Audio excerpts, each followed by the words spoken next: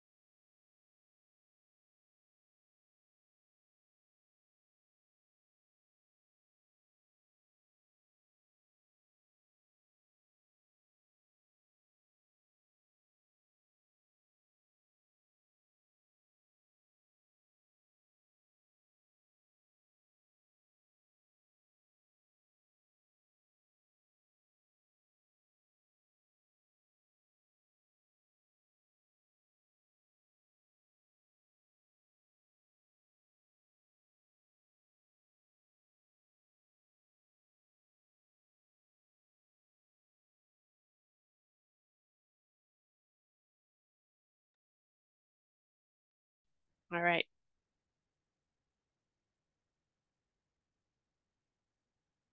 Mm -hmm. Okay, so the top graph here is showing the fossil fuel and cement carbon dioxide emissions. So fun fact is that cement, the production of cement uh, is a huge contributor to carbon dioxide emissions. Each of the shadings is the different source, so we can see the contributors through time. The main contributor is coal, followed by oil. And so we can see, you know, really the ramp up in the 1930s and 40s with our uh, production and our usage of these, these resources. The bottom panel is showing the anthropogenic carbon dioxide emissions and where those emissions are going.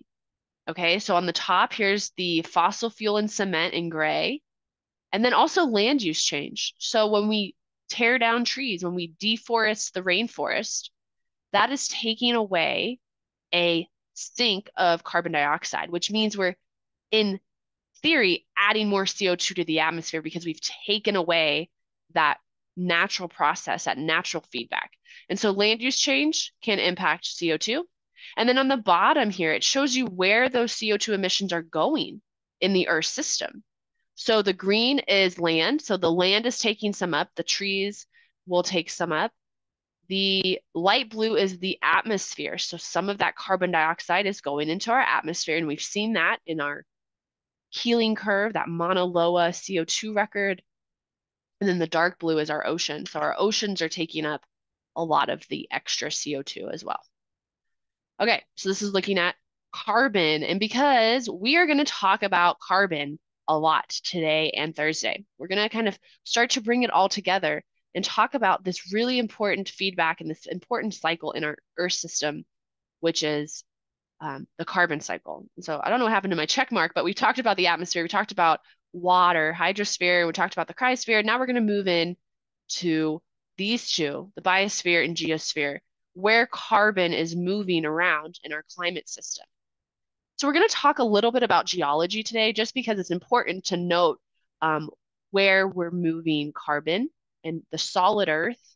The geology is important.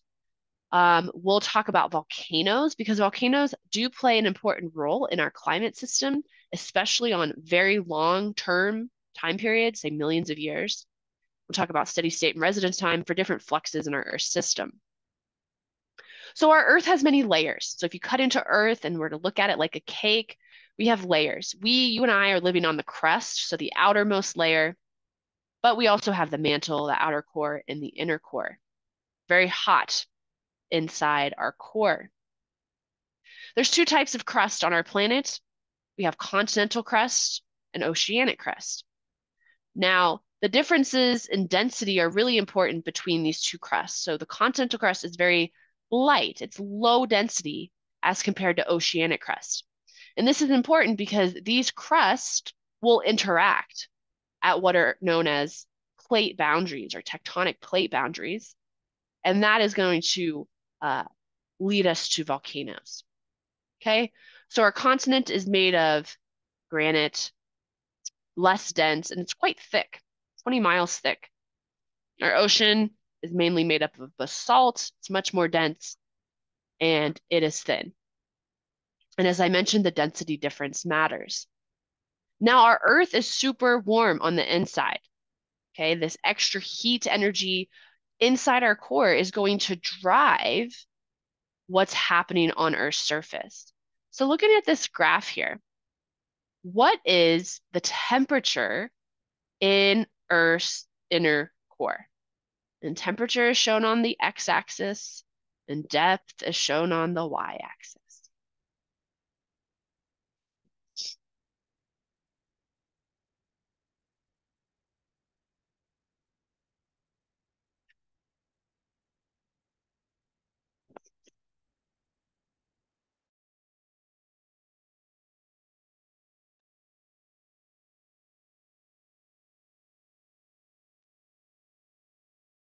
It's okay. Yes. This one is always, I've actually taught the same one twice today already. And uh, this one, every, everyone always chooses the wrong one in this. So when we look at this, right, again, looking at data and graphs, the x-axis at the top here is temperature.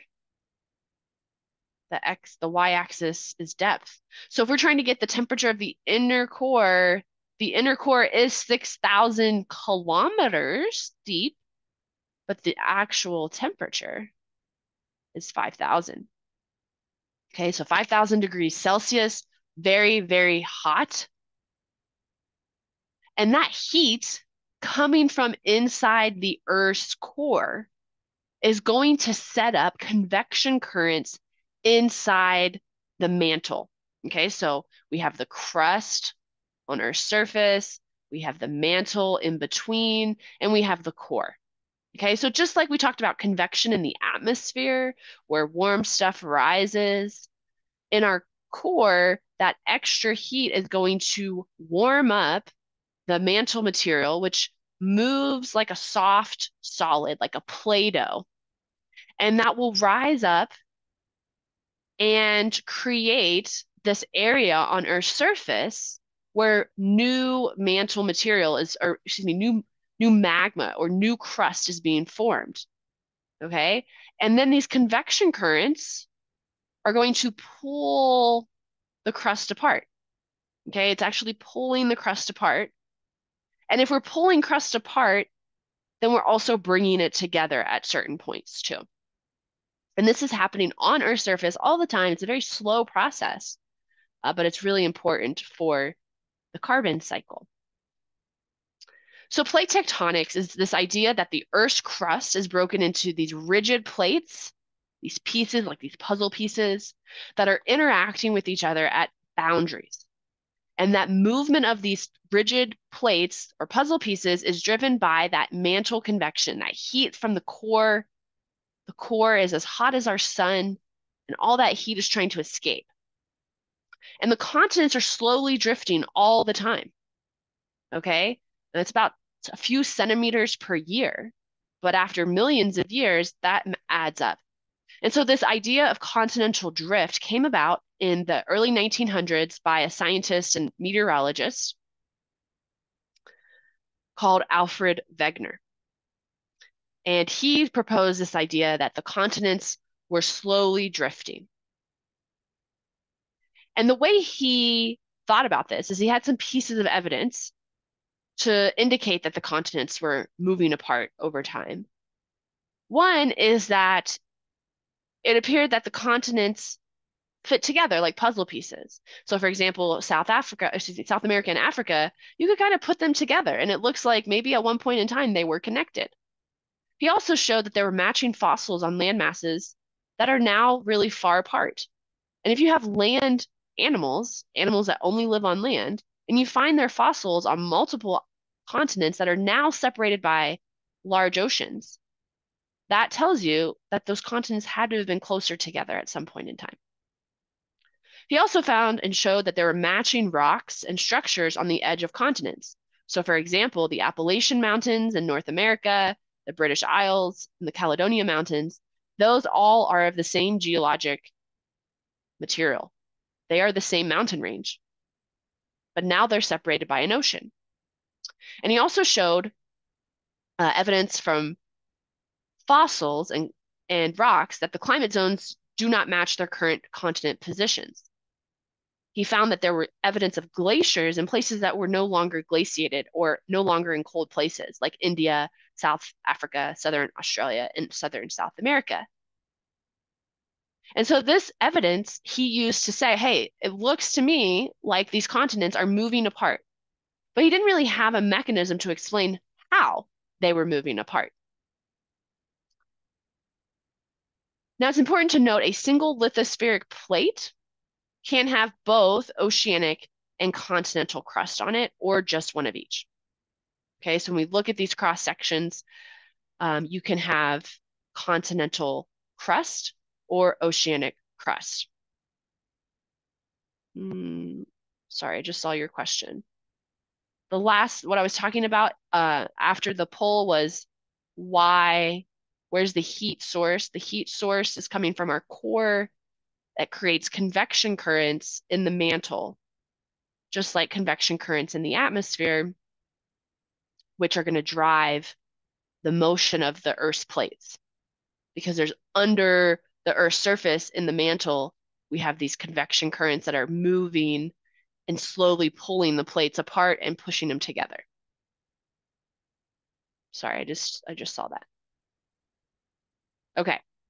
Now, Alfred Wegener, that was 1915 when he said, I think these continents are drifting apart. Here's my evidence, pieces of evidence.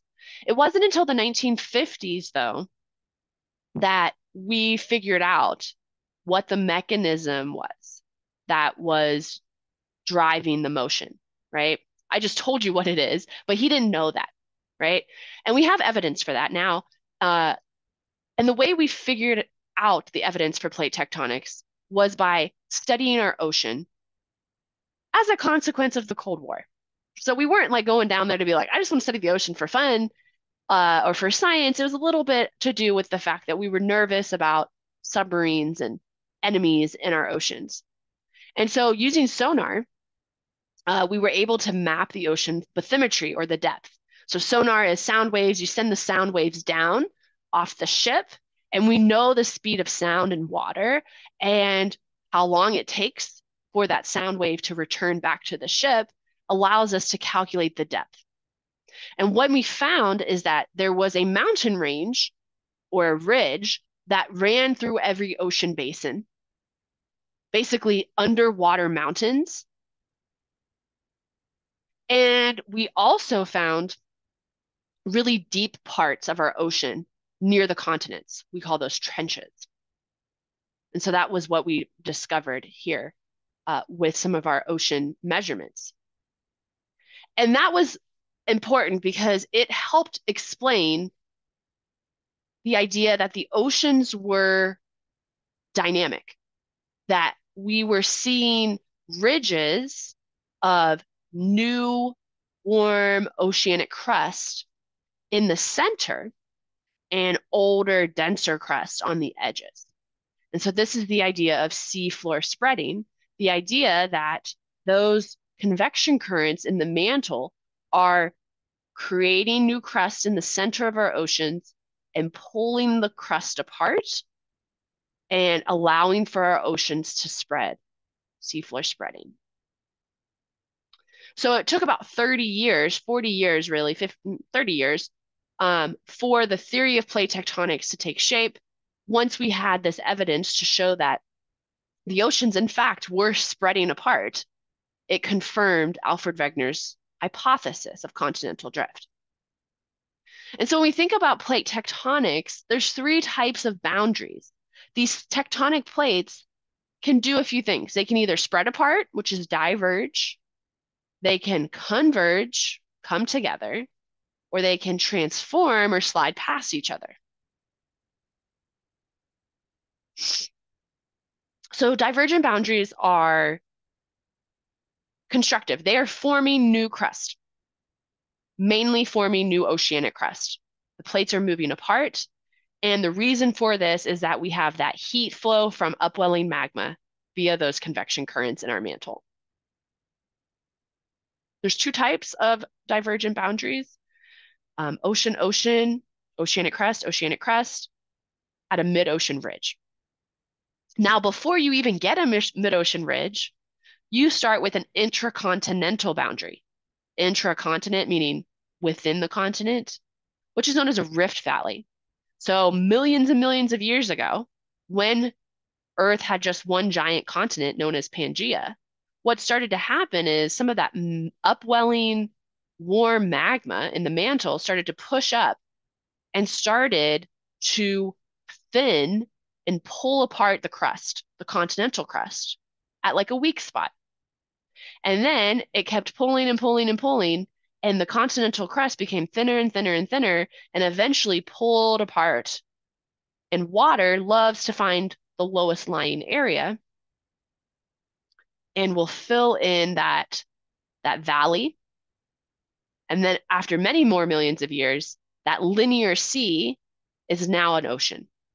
So all of our oceans on our planet today once started as intracontinental rift valleys. Okay, so our divergent boundaries, our mid-ocean ridges are these underwater volcanic mountains where new oceanic crust is forming. And if we are spreading apart plates, they have to be coming together somewhere else. So we have these mountains along the mid-ocean ridge, and we have these deep valleys on the edges, which are known as trenches. So the deepest parts of our ocean are found at the trenches where we are recycling some crustal material back into the mantle. It melts and becomes gooey molten earth again. Um, whoops. So as I mentioned, a rift valley is the early stage of a mid-ocean ridge. Okay, so today on our planet, we have an active intracontinental rift valley in Africa. So this is the Red Sea, Arabian Peninsula, and then the continent of Africa. The continent is slowly being ripped apart. So right now we have a linear sea here, but over a million years from now, that ocean will fill and it'll be an even bigger ocean, and those two land masses will be separated uh, by a bigger ocean. So our next major ocean on our planet is forming before our eyes. Then we have convergent boundaries. Okay, convergent means come together. These are destructive. These are where we are recycling earth material, earth's crust, or we're forming giant mountains. And at these locations, we're going to get volcanoes and earthquakes because earthquakes are really the shaking of earth where the crusts are sliding past each other or into each other. There's three types of convergent boundaries on our planet, and it's due to the crust that are interacting. So we can have oceanic crust interacting with continental crust, call that ocean continental convergent. We have oceanic crust and oceanic crust interacting, and we have continental and continental crust. Now, what's happening at these convergent boundaries is the more dense tectonic plate is going to descend beneath the less dense. Okay, this idea of density, again, is being brought up again. More dense sinks beneath. And oceanic material is more dense. Oceanic crust is more dense than continental crust. And so when you have this boundary, what happens is the force of the oceanic crust and the continental crust pushing together creates this buckling of the Earth's surface, which is this trench, this really deep spot on the Earth's surface. And then that lithospheric plate subducts, it goes beneath the continental plate. Now, as that plate moves deeper into the mantle, the temperature rises, right? We saw that temperature increases as you move further towards the core. And what's going to happen is that mantle material starts to melt and rises up because it's less dense, it's warmer and less dense, and we end up with volcanoes on the non-subducting plate. Okay, so we get these volcanoes on our non-subducting plate. We call that a volcanic arc.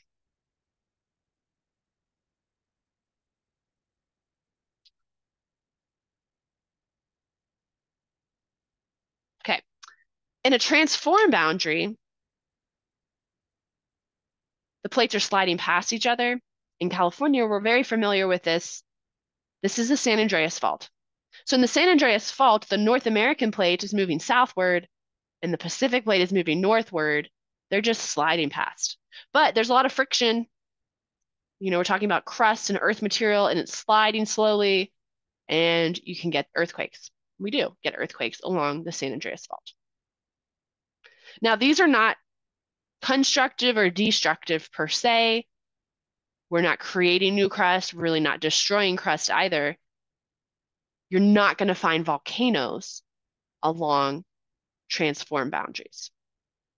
The only location you're going to find volcanoes are along convergent destructive boundaries because what volcanoes are is the recycling of earth material. So we're taking crustal material either in the top example, ocean to continental, or the middle example, ocean to ocean. That crustal material melts and then rises back up. So volcanoes are a way that our Earth system is producing new crustal material. It is a closed system in that sense. We are taking older crust, melting it and creating new crust via volcanoes. Okay, so we look at earthquakes on our planet, earthquakes are associated with plate boundaries. We do have earthquakes not at plate boundaries, though, because the Earth is so dynamic. It's constantly in motion that even inland, away from a boundary, we can have earthquakes. It's just where the Earth is sliding. Volcanoes. If we look at the distribution of the largest volcanoes on our planet, you'll notice they are along boundaries. The big one is the Pacific plate here. And this is because along the Pacific plate, we have many convergent boundaries.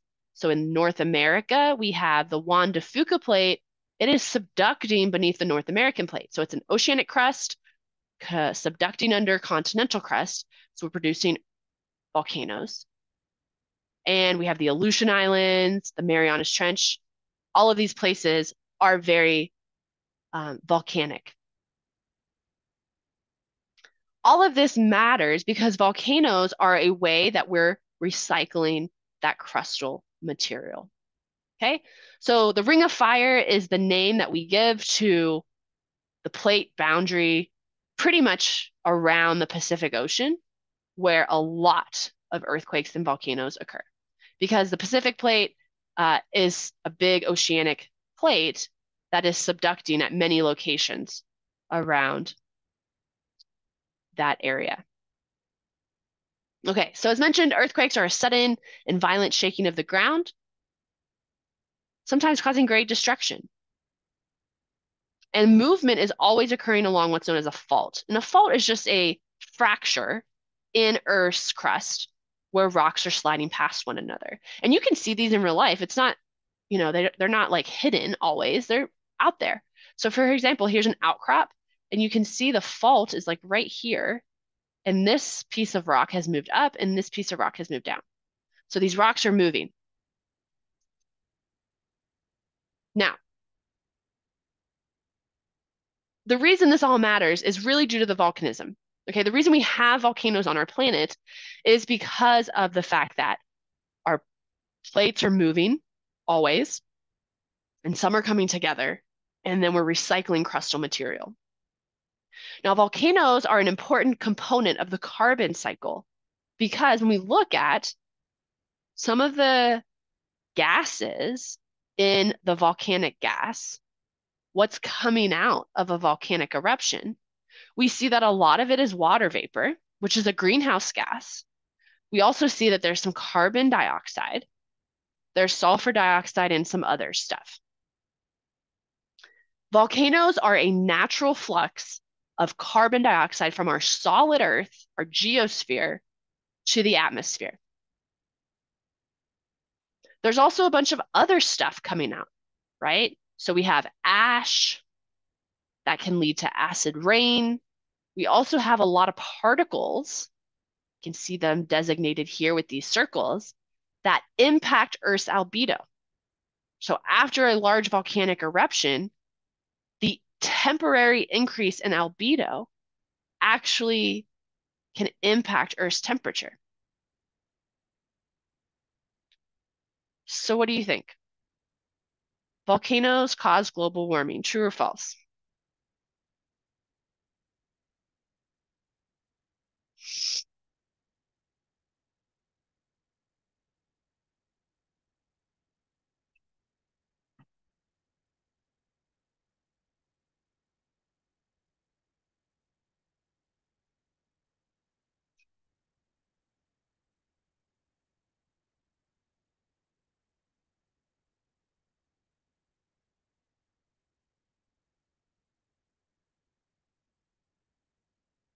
All right. So volcanoes do not cause global warming. They actually cause global cooling temporarily. And that is because of the increase in albedo from some of the aerosols, those solid particles that are suspended in the atmosphere. So again, big eruptions a lot of that ash can make it all the way up even into the stratosphere, that second layer where the ozone layer is. and temporarily increase the planetary albedo. But that increase in albedo, as again, it's very temporary. It's only about one to two years. So if we look at this graph here, and I apologize, it's very pixelated, but I took it from an old research paper. The x-axis here is the change delta, so delta, change in temperature of the surface, and time after the volcanic eruption.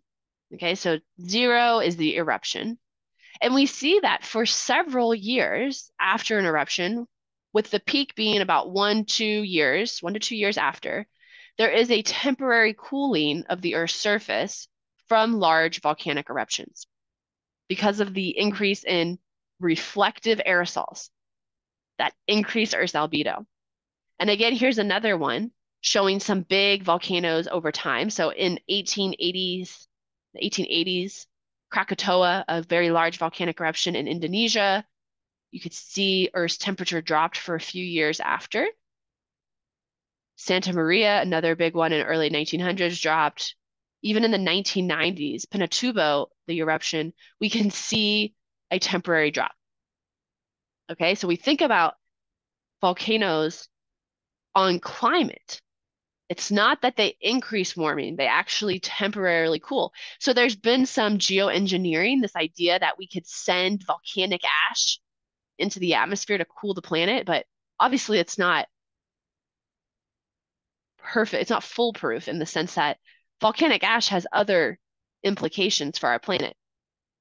It can impact agriculture, it can impact sunlight, right? So it's not perfect, but volcanoes are a way that carbon is moved around the Earth system. Okay? Volcanoes are in fact likely responsible for the formation of Earth's early atmosphere. So in the very beginning, Earth was a molten ball of lava, of magma, with no water, with no oceans. But over time, through plate tectonics and volcanism, a, quite a bit of water vapor got released through the volcanic gas emissions which allowed us to have liquid water on our planet and helped with the greenhouse effect. Now, when we look at volcanic eruptions, yes, there is CO2 that comes out, carbon dioxide that's coming out of volcanoes. But we compare global volcanic emissions to other sources of carbon dioxide, they are minor. For example, if we look at this line here, vol global volcanic emissions about 0.26 gigatons per year of CO2. When we compare that to the anthropogenic CO2 from fossil fuel combustion in 2015, that number is 32.6. So it's like what, 30 times 4, 120 times greater. So yes, it is a small contributor to carbon in the atmosphere, but very minor when we compare it to the other fluxes today. Okay. So really quickly, the difference between a mineral and a rock. Minerals are naturally occurring, inorganic, solids with internal molecular structures. And they have a specific chemical composition, meaning they have a chemical formula. Rocks are aggregates or multiple minerals combined. Okay, so for example, a piece of granite, which is a rock, is made up of quartz, feldspar, and mica minerals. Again, for a mineral to be considered a mineral, it has to be naturally occurring, inorganic, not living, has to be solid. It has to have an internal molecular structure and a chemical specific chemical composition. So when we think about our elements on our planet, we have our periodic table of elements. They combine to create minerals. For example, diamond is just a bunch of carbon atoms combined. But other minerals like olivine have a bunch of different elements. Then our minerals make up our rocks. Now, our planet is constantly evolving constantly changing. We have the rock cycle which you may remember from a while back, our rocks are constantly changing. And carbon carbon dioxide, carbon is being moved around through our rocks and minerals on our planet. Okay, just a fun one here. Which one of these is a mineral? Is it ice, mercury, or sugar?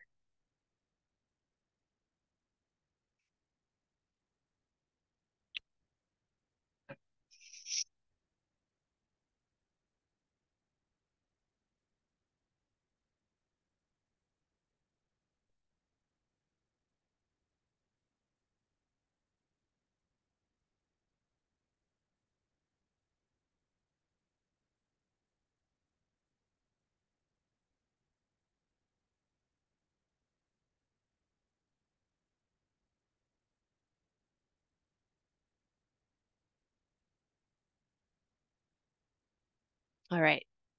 When we think about the definition of a mineral, it has to be solid, inorganic. Well, mercury is not a solid. Whoops. Okay, mercury is a liquid in this case, in this example. Inorganic, not alive. Sugar comes from living things. Sugar cane, a plant. Ice is a mineral by definition because it is naturally occurring. It's inorganic. It is a solid it has an ordered internal molecular structure and a chemical formula of H2O. So another cool thing about water. Okay, so minerals are forming our rocks. There are several thousand minerals on our planet, more than 4,000, and all rocks are a combination of minerals. And the composition of the different minerals make up that type of rock. And we're not going to get into any more detail than this. Just it matters because many of those minerals have carbon in them. Okay, so three types of rocks on our planet. Igneous rocks are formed by the cooling and crystallization of magma. Sedimentary rocks are formed when particles are transported by water, wind, or ice and combined or through the chemical precipitation of dissolved material. So if you have very, very calcite rich or solution, a water solution with a lot of a mineral in it, it can fall out of solution and create a rock. And then metamorphic rocks are igneous or sedimentary rock or even metamorphic rock that are changed as a result of high temperatures, pressures, and a combination of both. Now, the rocks can be broken up into pieces. And an example of this type of weathering, so weathering is the breaking up of rock, is chemical weathering. Okay, chemical weathering is the decomposition or breaking up of rock through chemical reaction. A really great example of this is water dissolves CO2, carbon dioxide, and becomes acidic. And it's carbonic acid. Carbonic acid can dissolve rock material, and it will carry that rock material through rivers into the ocean, where then that rock gets stored for many millions of years. Okay, so weathering, rock weathering is a way that we can move carbon around our planet. And this is actually a really important one. Chemical weathering is removing carbon dioxide from the atmosphere. The rates of chemical weathering typically increase with temperature. So if we complete this feedback loop, if our global temperature increases and our rates of chemical weathering or breaking down of rocks via chemical reactions increases, that's a positive feedback. Then the amount of chemical weather, yeah, the amount of chemical weathering increases, it's going to decrease the carbon dioxide in the atmosphere. Because what's happening is that CO2 is reacting with water and then it's basically staying in the solid earth it's not staying in the atmosphere anymore. So that's a negative coupling. And then if carbon dioxide decreases, then our global temperatures decrease. Okay, so that's a positive coupling. And this ends up being a negative feedback loop. Kind of the first one we've really seen. So the rock cycle, the breaking up of rock material through chemical weathering, is one way the Earth system has kind of built in a built-in negative feedback to help remove some of the carbon dioxide from our atmosphere.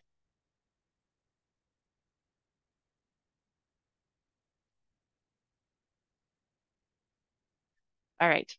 So the big thing here is that chemical weathering is removing CO2 from the atmosphere.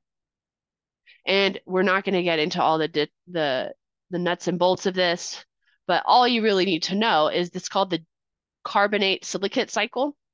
And this is a very long term, it takes millions of years, but through volcanism and through that chemical weathering, we are moving carbon dioxide from the atmosphere and back into the solid earth.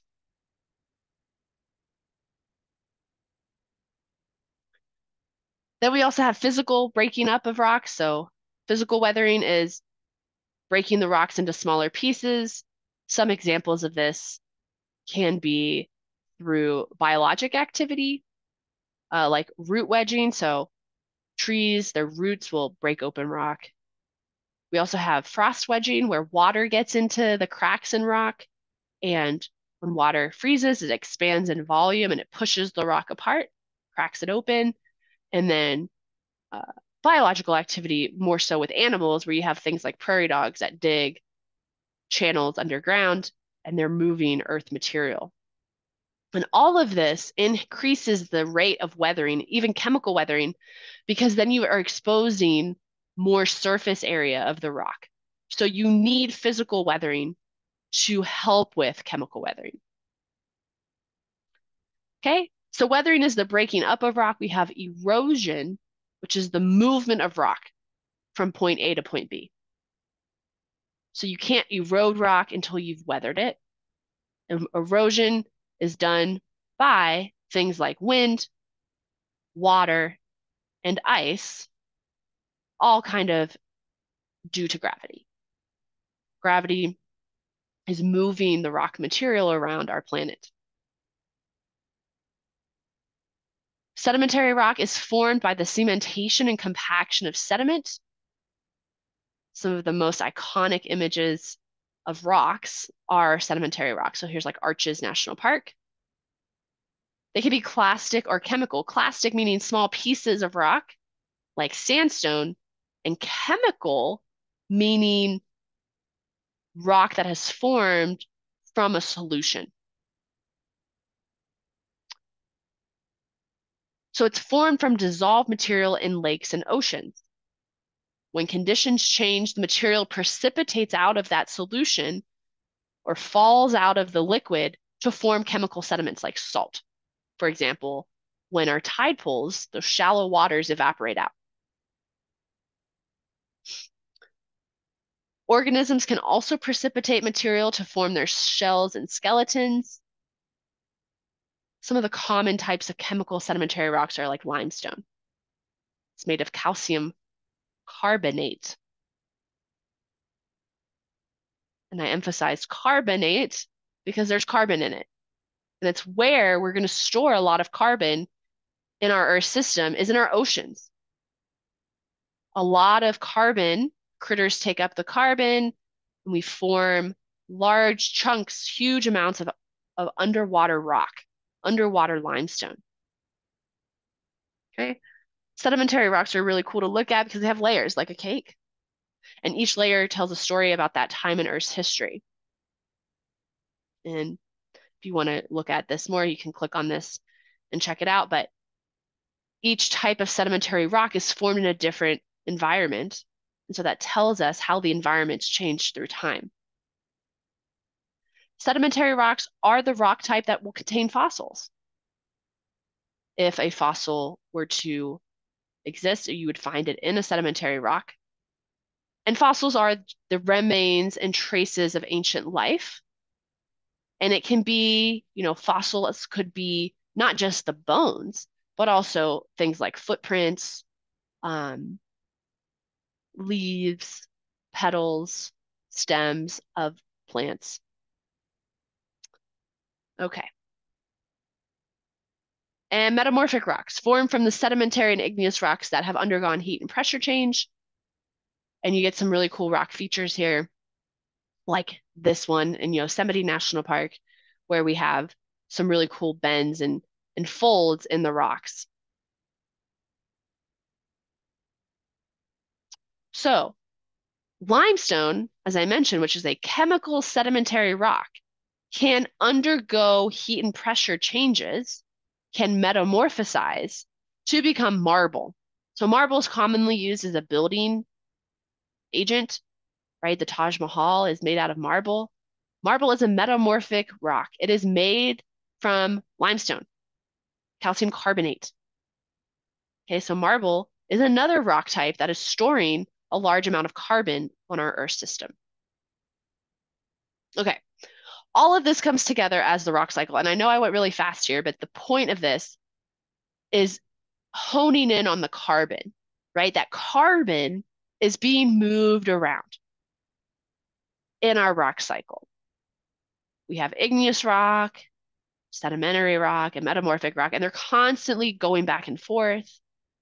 Our plate tectonics are recycling earth material, creating new fresh magma that is leading to volcanic eruptions, and that's adding CO2 carbon to our atmosphere, or you know, weathering is taking it away. So all together, we get our carbon cycle. Okay, we've talked about carbon in our atmosphere. We've talked about it in our oceans. And we just talked about our rock cycle. We also talked, you know, a little bit about photosynthesis and, you know, plants take up carbon. And we can put all of this together to really think about how human activities are changing this cycle from its natural state and what that means for our future. Carbon is the life element. All life is based on carbon. You and I, we have a lot of carbon in our bodies. And CO2, carbon dioxide, is an important greenhouse gas. We talked about how it impacts planetary temperature.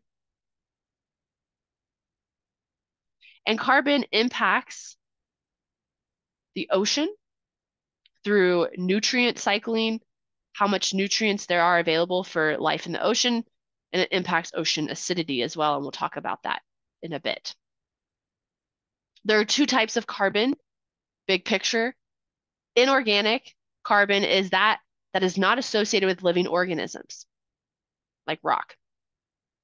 Then we also have inorganic car or excuse me, organic carbon, which is associated with living organisms like trees, animals, you and me. We are made up of organic carbon. So which of these represents or depicts organic carbon?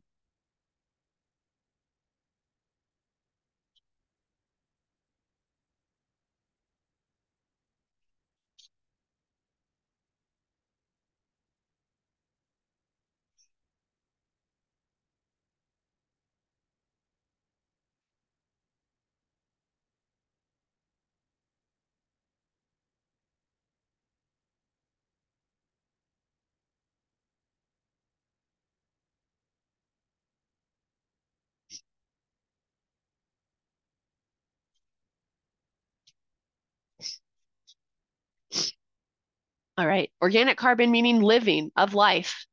So our tree here is organic, which in this sense, in chemistry, it means something completely different than like the grocery store, right? When you go to the grocery store and something's called organic, that doesn't mean it's of life because everything is organic in terms of food.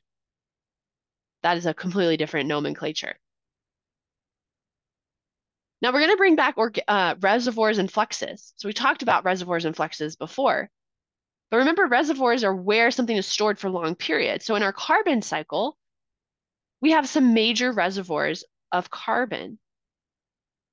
Some of our major reservoirs of carbon are the atmosphere, the ocean, fossil carbon, like that coal that we've dug up and used for energy, soil, our plants on land, our rocks. And the fluxes are the movement of that material, that carbon, between different reservoirs. Okay.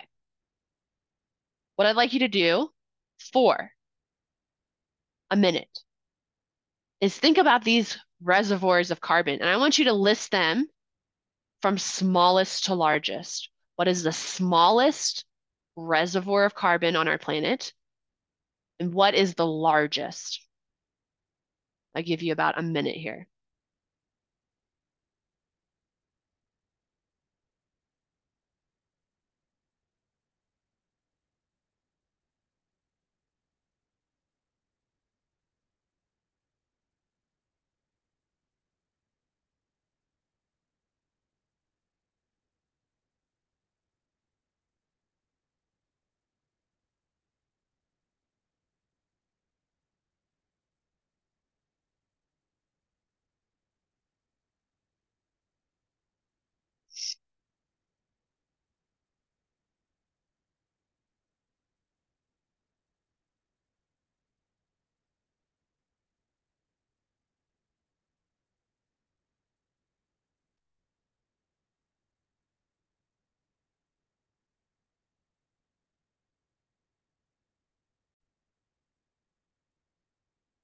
Okay, what do you think is the smallest carbon reservoir? Which one of these? Okay, so smallest sedimentary rock, okay, and largest deep ocean, okay? Anyone else? What do you think the smallest is? Vegetation, okay.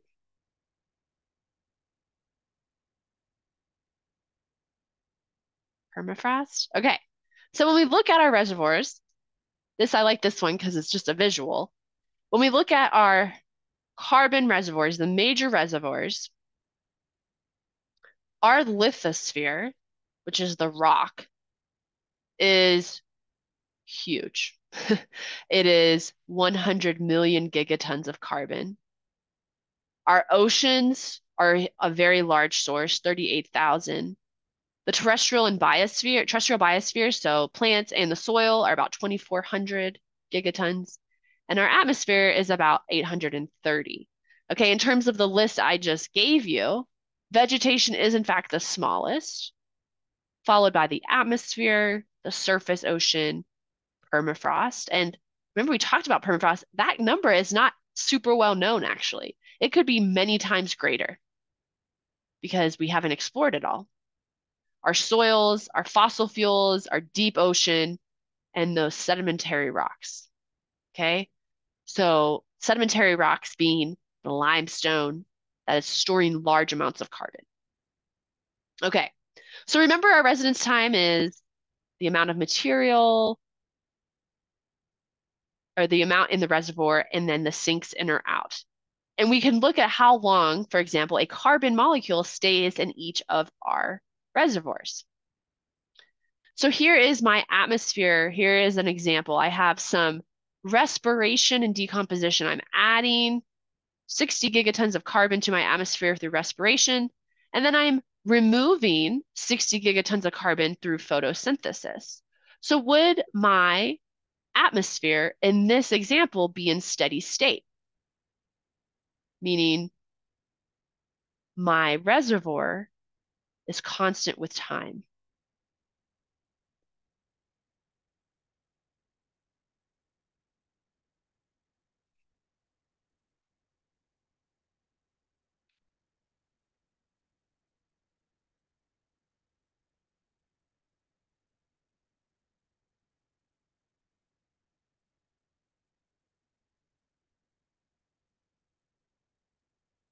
All right. So steady state is that the amount of inflow and outflow are equal. And so in this example here, I'm bringing in 60 gigatons of carbon to my atmosphere, and then 60 gigatons are leaving. So this example, my reservoir is in steady state. Okay? And we could calculate the residence time of a molecule of carbon in this example, right? So residence time would be 760 gigatons of carbon over the inflow or outflow. Okay, so the inflow or outflow here would be 60 gigatons carbon per year. And that means, on average, one of my molecules of carbon in my atmosphere is staying for about 12.6 years.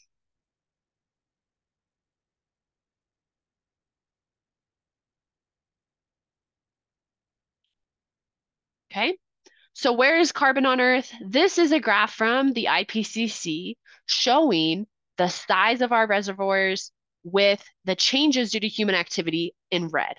Okay, so you can see like, for example, fossil fuel and cements and land use change, how that's impacting these fluxes. Uh, and we could also see the major reservoirs in the boxes.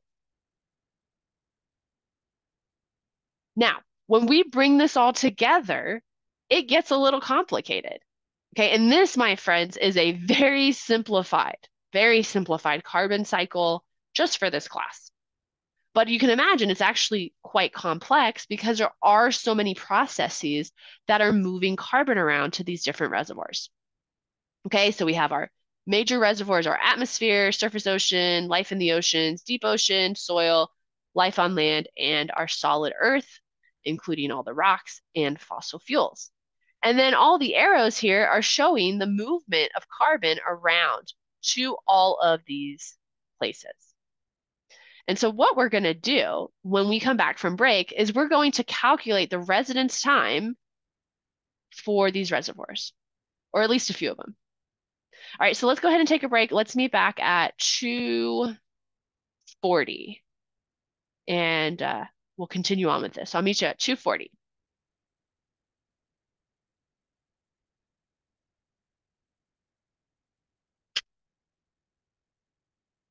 The residence time of a molecule of carbon in our different reservoirs. So let's try the atmosphere. Let's look at our atmosphere. So when we look at the atmosphere, we know the size of the reservoir is 750 gigatons. What we need to know is the sources in or the sinks out. And so I like to just highlight the numbers in. So in my case, numbers in are going to be respiration. So all the arrows in will be our fluxes in. And when we add those together, that will be the total flux in. And then we can divide our reservoir size by those numbers. Okay, so it's going to be 0.6 plus 50 plus 59.4 plus 90 gigatons per year. And we will get, I didn't have this done in advance, we should get 0.6 plus 50 plus 59.4 plus 90. Is that right? The 0.6 is from the volcanic eruptions. So the volcanic, the line goes all the way from solid Earth up to the atmosphere. So if I have all the numbers right, I have atmosphere, Volcanoes, respiration, respiration. It's okay. And then release. Yeah. So that should be 750 divided by 200. So about 3.75 years. I believe I did that right. Okay. So when you look at these, this is how you do it.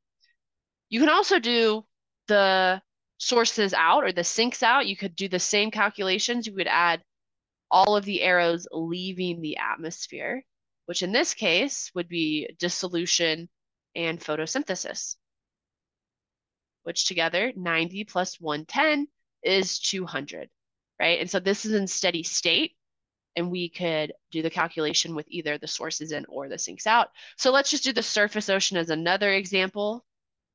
Another example, surface ocean, life in the, or no, yeah. Yeah, surface ocean, okay? So our surface ocean, no, I want to do life in the oceans. Sorry. Life in the oceans. Life in the oceans, like our little phytoplankton. We have three gigatons of carbon stored in that reservoir. We have 10 gigatons coming in and 10 leaving. So 3 divided by 10 gigatons carbon per year is 0.3 years. So the average carbon molecule stays in life in the oceans for a third of a year. And that's about right because these phytoplankton, they have a kind of twice a year cycle. Okay, questions about doing these calculations?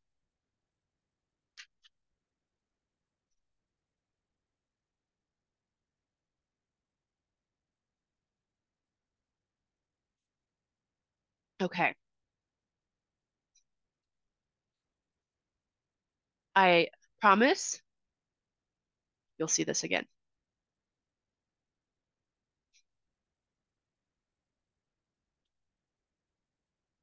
So we think about the carbon cycle, the fluxes, right? We looked at the different fluxes or the reservoirs, right?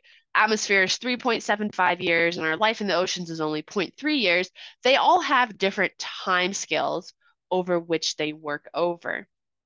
And so the short term carbon cycle is what we know as as photosynthesis. Okay, so it occurs on short time periods, like twice a year or you know once a year, where we have spring taking in a bunch of carbon, and then in in winter we have more respiration. Okay, so short term organic carbon cycle, we have a lot of photosynthesis plants using carbon dioxide to produce sugars and carbohydrates it's important to note that plants do respire all the time, but only photosynthesize during day. So they are giving back a little bit of CO2 to the environment, but net, they are removing more CO2 than they produce. And when we look at the short-term organic carbon cycle, we can see that by taking measurements of atmospheric CO2. So this is our Keeling curve showing the recent monthly mean CO2 or monthly average CO2 at the Mauna Loa Observatory. That's the red dots. Why does the CO2 record have this zigzag pattern? Why is it going up and down?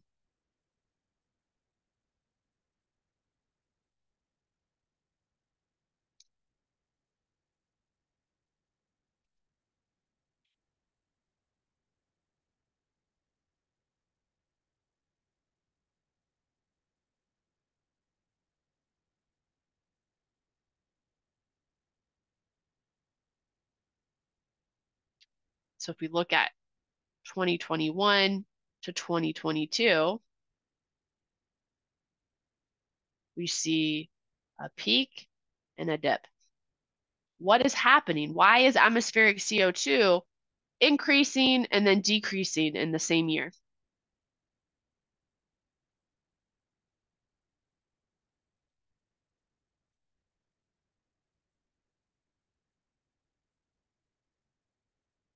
The seasons.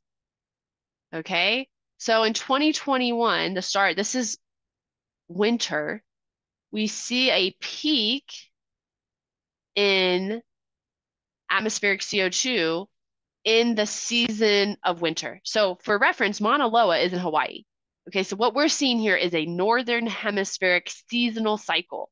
So in the northern hemisphere, plants go dormant during winter. They're not photosynthesizing as much. Okay. Plants lose their leaves, so they're not doing much photosynthesizing.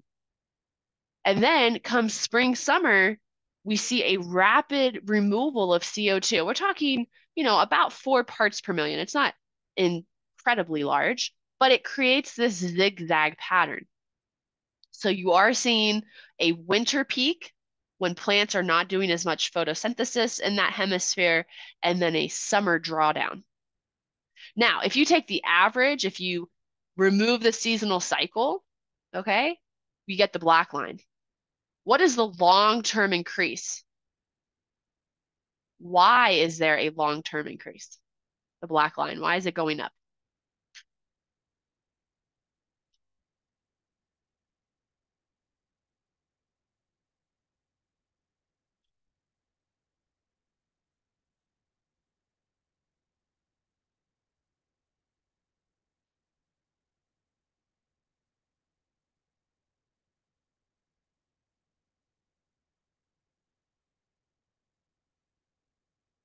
Well, this is measuring carbon in our atmosphere.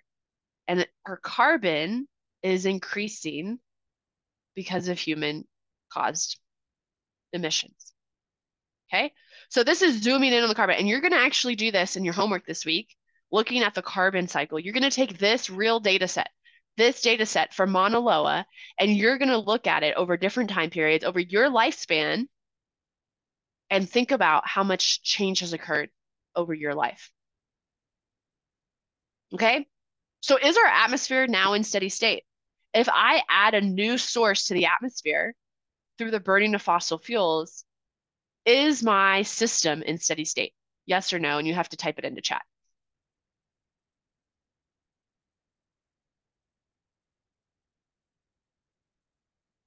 No.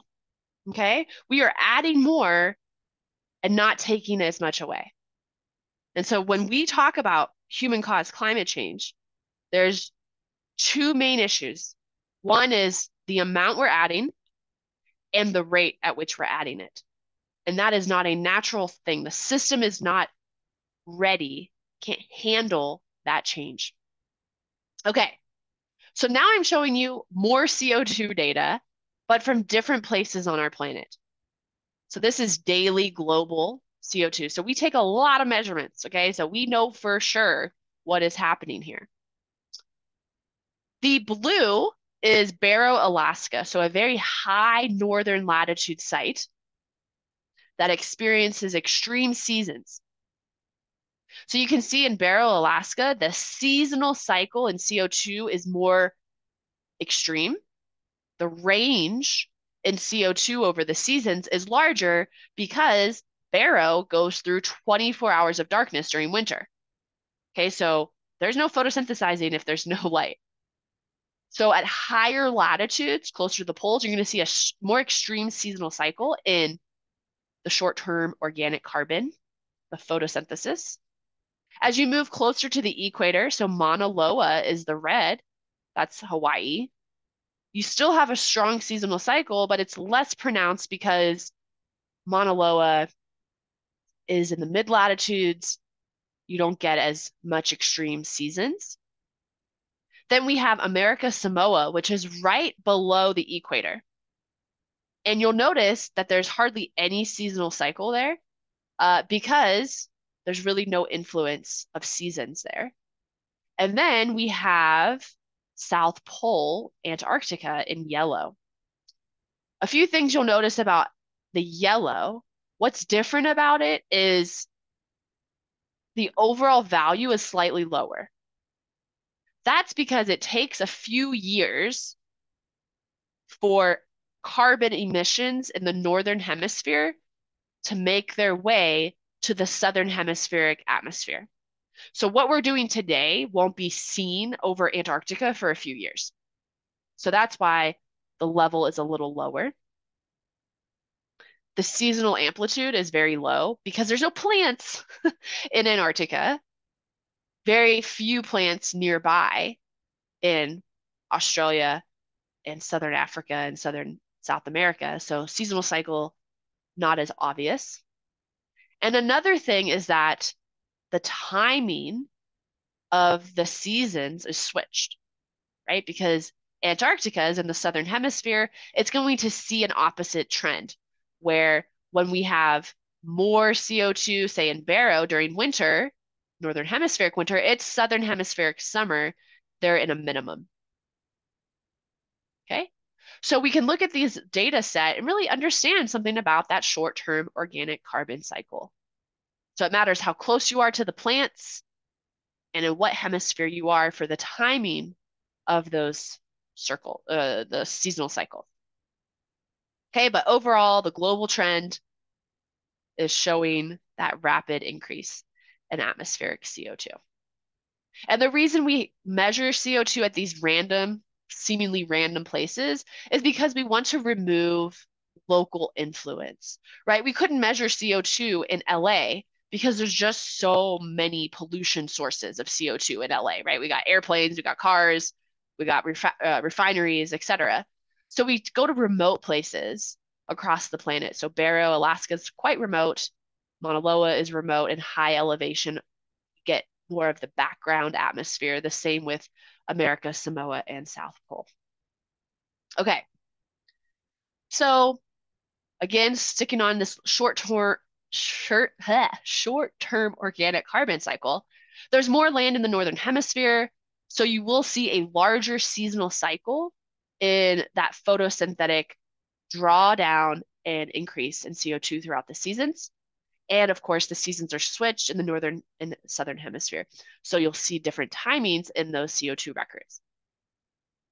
Okay, so now we're going to move on and talk about the biological ocean pump, which is how we can store and move carbon in our oceans. So every time you take a breath, how much of the oxygen is coming from the ocean. Every breath you take, how much of that oxygen is from the ocean?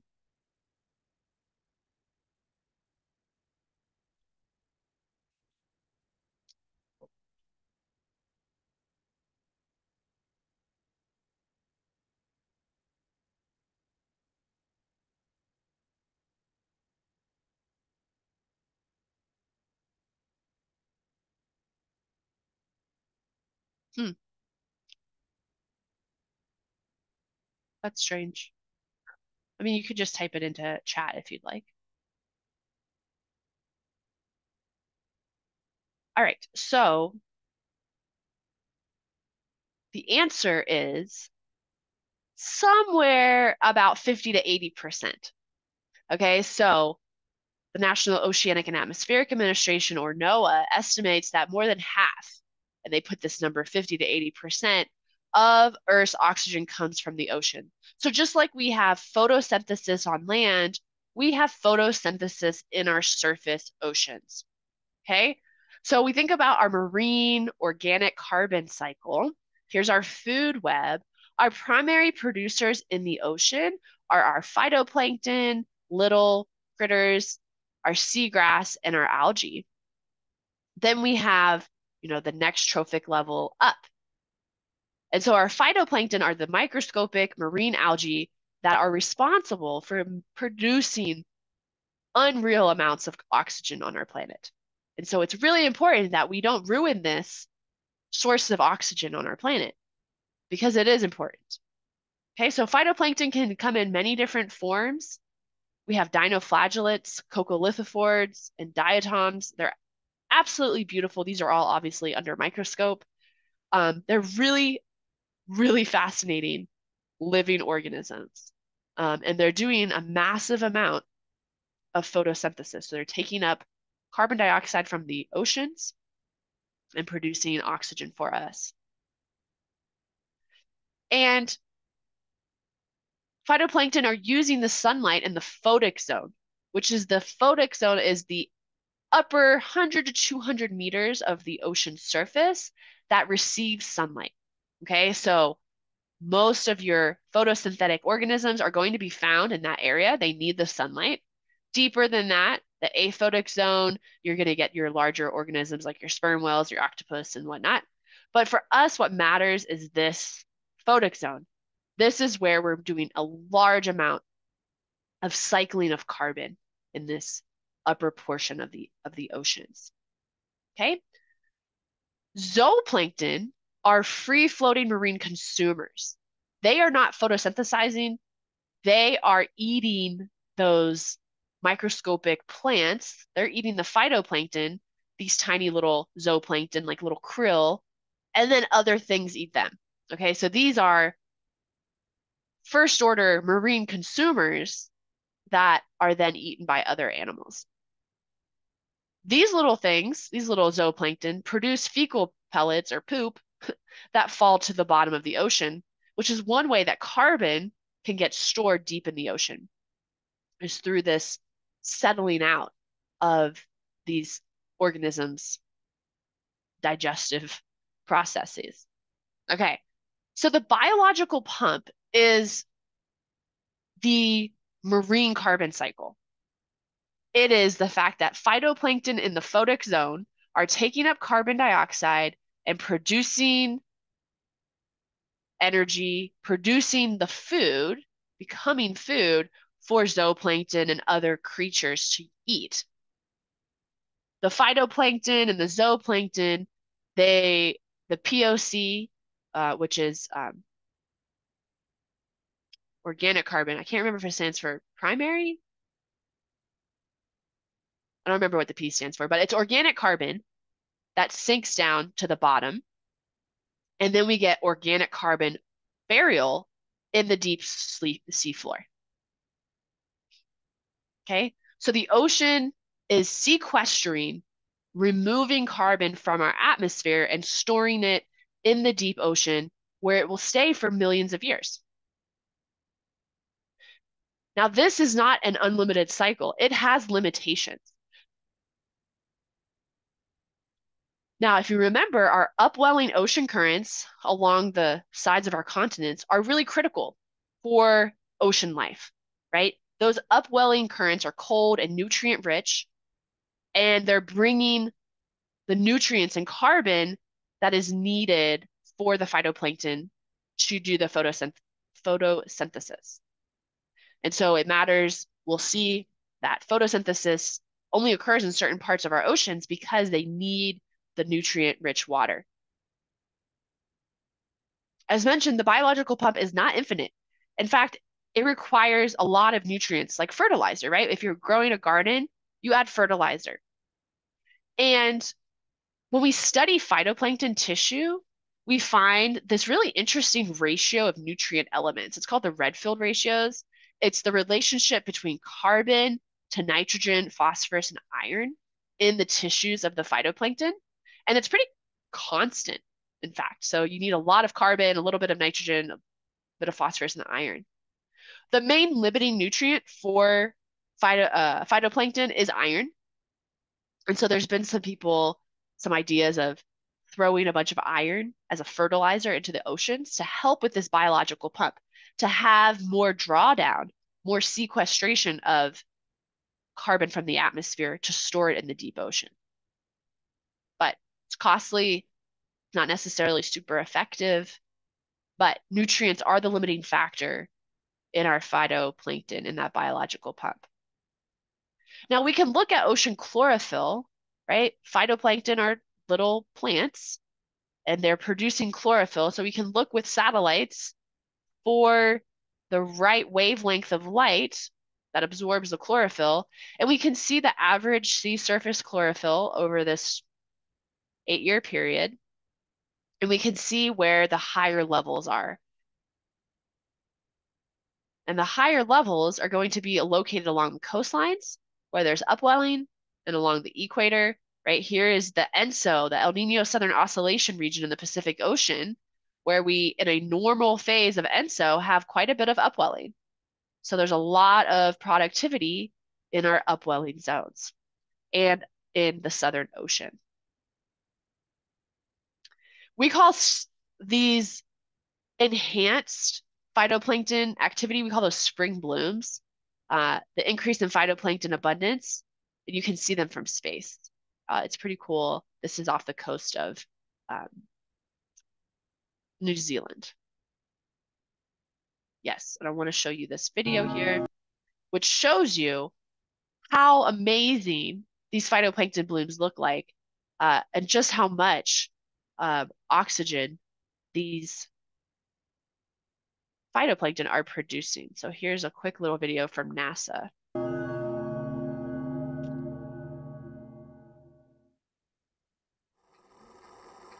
Scientists have found a massive phytoplankton bloom growing beneath sea ice in the Arctic. The discovery, captured on video and shown here, stunned scientists, as an under ice bloom of this size has never been seen anywhere on the planet. The bloom was spotted last summer by a team of scientists collecting field measurements for NASA's ICESCAPE mission, which explores the effects of climate change in the Arctic. Sampling took place at multiple sites along two tracts of ice covered water in the Chukchi Sea, just north of Alaska. According to observations, the bloom extended for more than 60 miles from the ice edge into the sea ice pack and concentrated in the top layers of water near the ocean surface. Video footage taken below the sea ice at two different study sites contrasts the Arctic's typically barren and dark blue water with the emerald shades of green produced when teeming with phytoplankton. The blooms consisted mainly of diatoms, microscopic plants that make up the base of the marine food chain and require large amounts of sunlight to grow. Scientists previously thought blooms were limited to ice-free expanses of open water, where sunlight isn't reflected by sea ice and prevented from entering the ocean. But thinning ice and the increase in melt ponds has allowed more sunlight to reach the water below the sea ice in recent years, which may account for the presence of these massive blooms. If such blooms are widespread, scientists will have to evaluate the impact of these carbon consumers on the amount of carbon dioxide entering the ocean and what that means for our changing climate.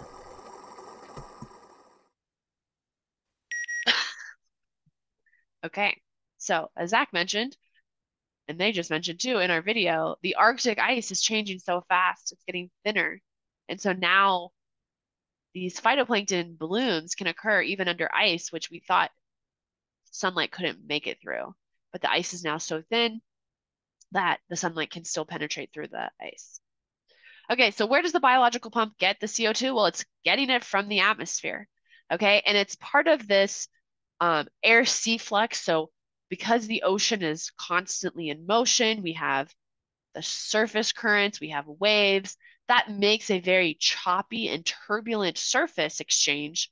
And so the carbon can be dissolved into the ocean.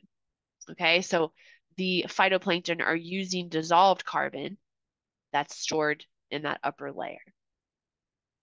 Now, when the ocean dissolves more CO2, there are effects. So this graph is showing you in red the amount of carbon dioxide in our atmosphere, as you've seen before in our Keeling curve. So from Mauna Loa, we can see the atmospheric CO2 increasing. The green over here is showing the dissolved CO2 in the ocean. So it's called PCO2.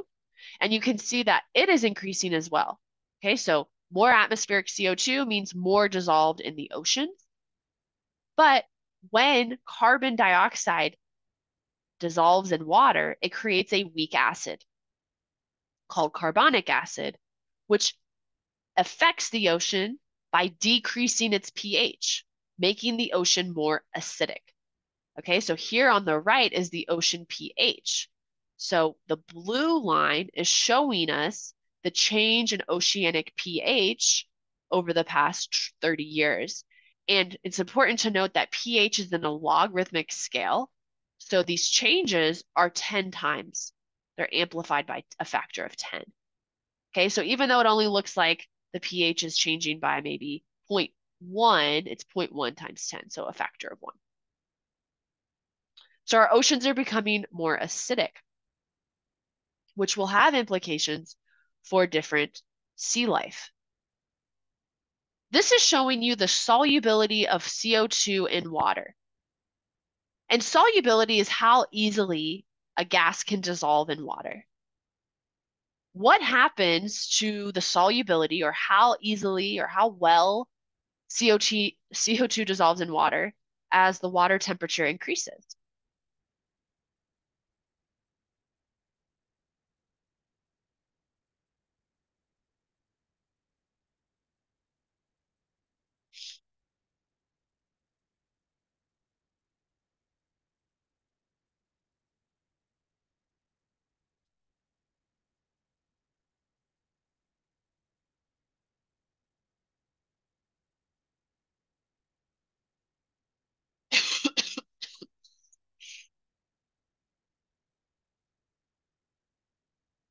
All right. So the ability of CO2 to dissolve in our ocean water is dependent on temperature. And as our oceans get warmer, less CO2 can be dissolved. So the solubility decreases, which is a problem because our oceans are getting warmer, which means the ability for our oceans to buffer some of the atmospheric CO2 increases, excuse me, atmospheric CO2 increases caused by human activity, the ocean is not as strong as it used to be in that. And as the oceans get warmer, less CO2 will be able to be dissolved. So that's not ideal. Okay, so CO2 solubility in ocean is dependent upon ocean temperature. So this one, you can start to see our feedback loops are starting to get a little bit more complex. If our atmospheric temperature increases, well, our water's going to increase too. That's a positive feedback, or excuse me, a positive coupling. If our water temperature increases, our CO2 solubility decreases.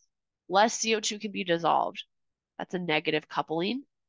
CO2 solubility decreases, and that means that less CO2 dissolves into the ocean.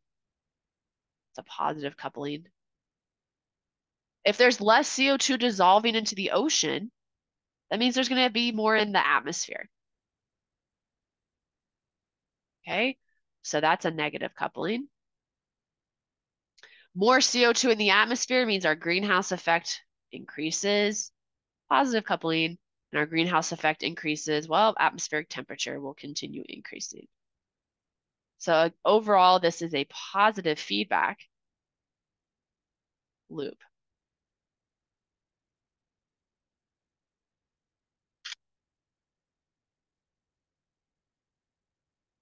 Okay.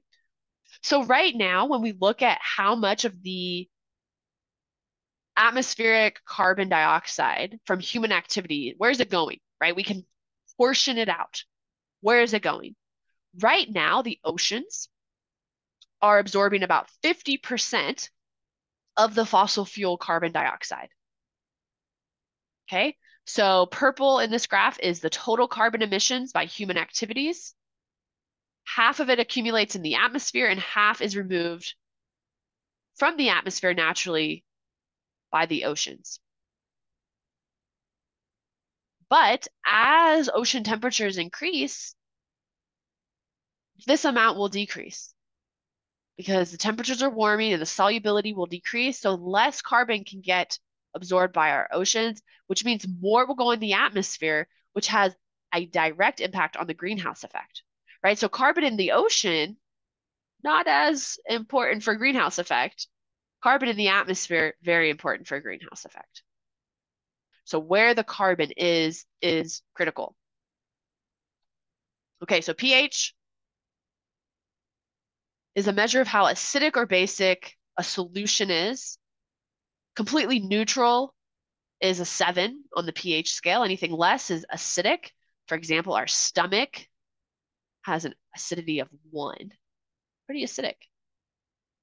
Then bleach and soap has an acidity of 12, so we consider that basic. And it's really a measurement of how many hydrogen ions there are. pH equals the negative log of the number of hydrogen ions. Anyway, why this matters is that if our oceans are moving from eight downward, they are becoming more acidic. And when CO2 dissolves in water, we produce that weak carbonic acid. And that is going to play out because the pH is really important for critters in the ocean to make their calcium carbonate shells. And I have this demonstration here, which I like, which shows you um, hey teachers oops, the impact of CO2 on acidity in the water. This video is going to demonstrate the bromothymol blue experiment. Bromothymol blue is a pH indicator and it changes color as the pH of the solution changes. When a solution is basic or alkaline around 7.6, the bromothymol blue will appear blue. And when the solution is acidic, it will appear yellow. So we are now going to add some bromothymol blue to a beaker of water this is just regular tap water. This is our bromothymol blue. And what you do is you just squirt it in until you get a nice color. Stir it up and you can see that the tap water appears blue and that suggests that um, our tap water is slightly alkaline. So what we're going to do is we're going to demonstrate that CO2 can actually alter pH. And we're going to get our CO2 by exhaling through a straw and blowing into um, the water here with the pH indicator of bromothymol blue. And as the CO2 enters the water, it will react with the water and create hydrogen ions um, in the equation that you learned earlier. So as we breathe into this solution, the color of the solution should change as the solution becomes more acidic. So let's give it a go.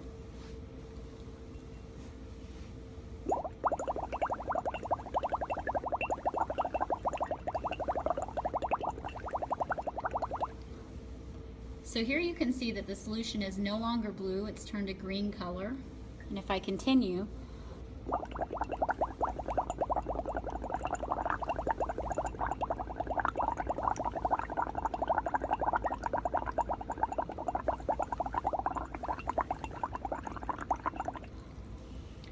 Now the solution is clearly yellow and no longer blue. So indeed, when we breathe into the solution with bromothymol blue, the pH has now changed to acid, um, a more acidic level because of the CO2 that we exhaled into the solution, which. All right, so an experiment showing that impact. So when you add more carbon, you get that carbonic acid, increases the amount of hydrogen ions, and makes the water more acidic, okay? So again, when we look at the pH, as we already saw in our graph here, the ocean's pH is a little bit above the seven it's at around eight. So it's a little alkaline, but it's becoming more acidic through time. And when we think about increases in atmospheric CO2, that means more will be dissolved proportionally to the solubility change. And we can do see our different scenarios. And as we move forward to the end of the century, the ocean pH is, you know, anticipated to decrease to into the sevens, which again, this is a log scale, so the change is pretty great. Okay, and why does it matter? Well, different oceanic organisms have shells made up of calcium carbonate, which dissolve more readily in more acidic solution.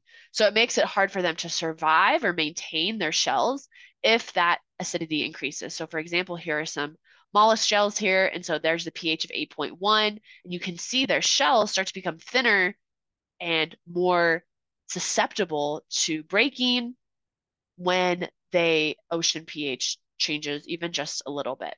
Okay, we'll talk about ocean acidification in a few lectures from now, but that is what we mean by ocean acidification, that the oceans are becoming more acidic because more carbon dioxide is being dissolved in them, leading to that carbonic acid forming. Okay. Some other short-term loops in our carbon cycle include things like fires.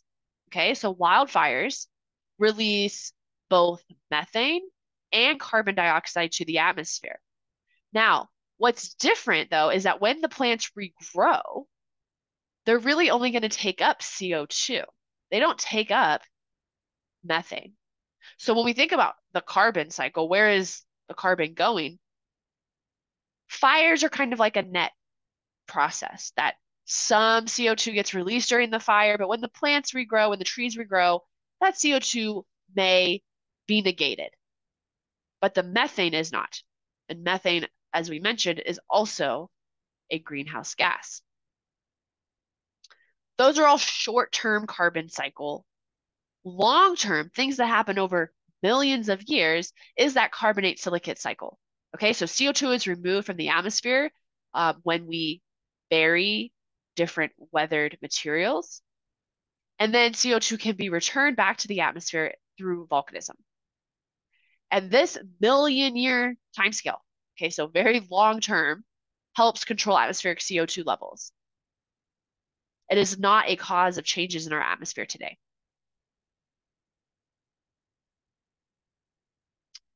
Other long-term carbon cycle are fossil fuels.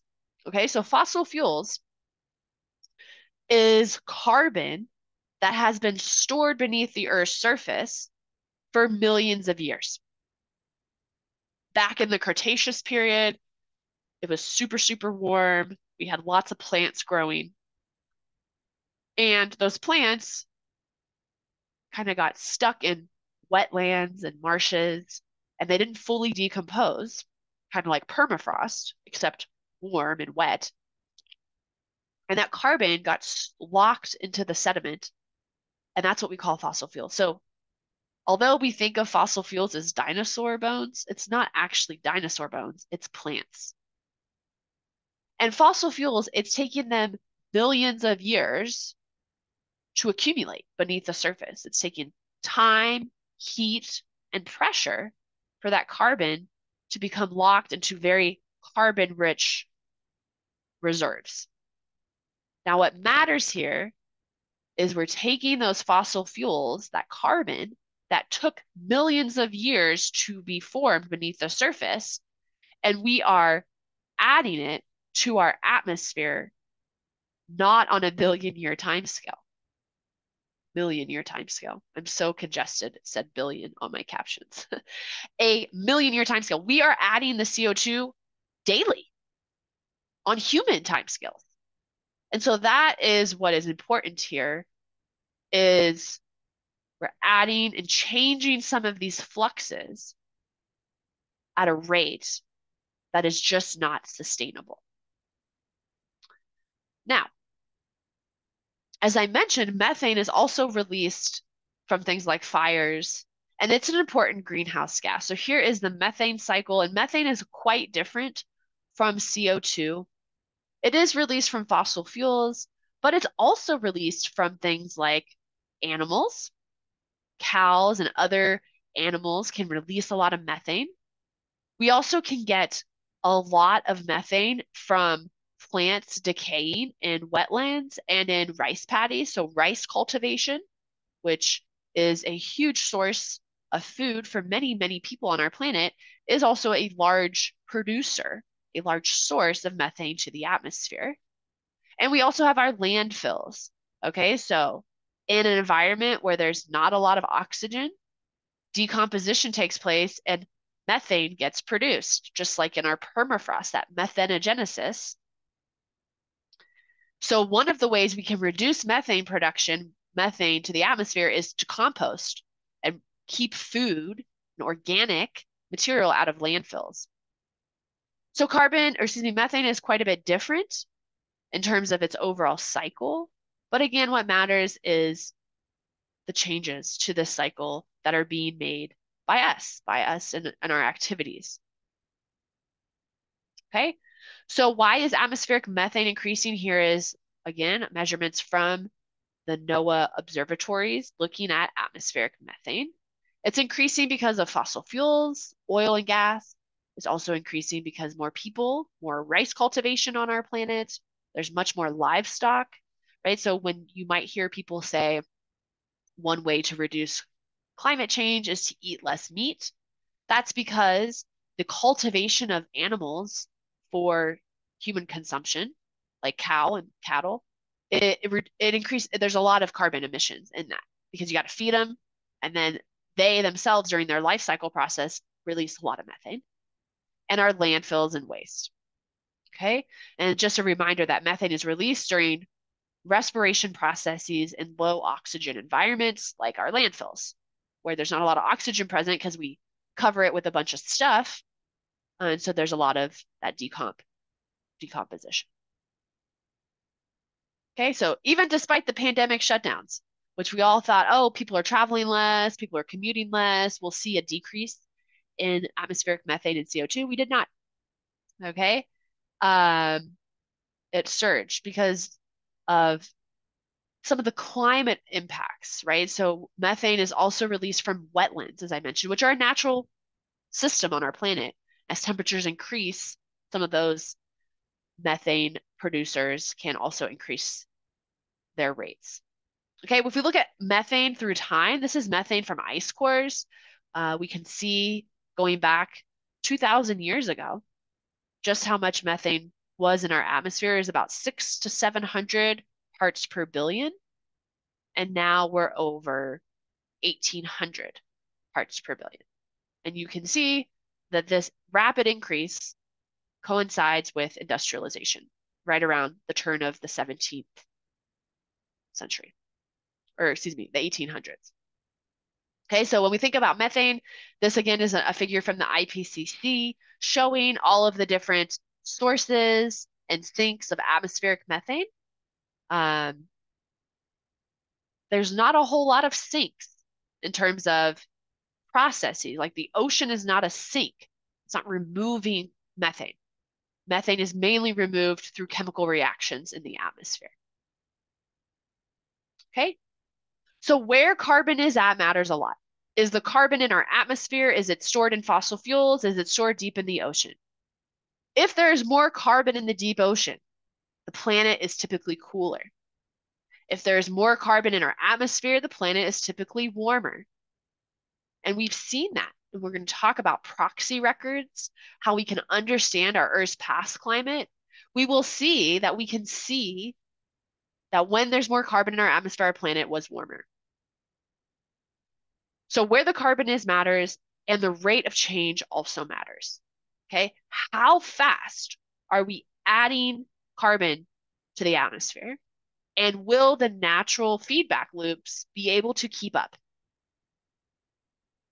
Okay. All right, so that's all I have for today. And if you have questions about your homework, I'm happy to answer them now. Otherwise, you're free to go, and I'll see you Thursday, where we will talk about past climate and proxies for understanding climate.